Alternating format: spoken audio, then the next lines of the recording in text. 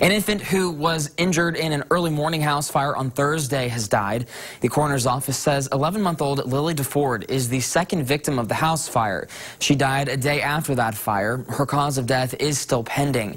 The fire happened in the 3800 block of Chancery Place. The coroner also identified two-year-old Hazel DeFord as the first victim of that fire.